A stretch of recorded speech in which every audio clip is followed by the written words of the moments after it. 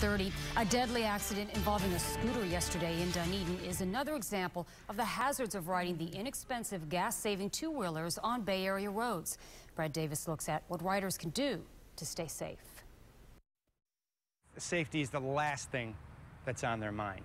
Doug Vitello owns Sunset Scooters in Clearwater. He's seen firsthand the increase in scooters on our roads. Every type of person is driving a scooter now. When you combine a weakened economy with rising gas prices over the past several years, scooters and their relatively low price have become a popular alternative form of transportation. But riding a scooter can be dangerous. I just get out of the pool, I'm in my, uh, my bathing suit, I can just jump on my scooter and, and, and, and go to the corner store. It's, it's, it's not about that.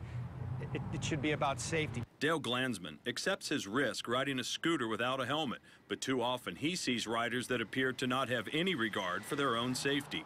Riding without a shirt, riding barefooted, you know, always have good footwear on.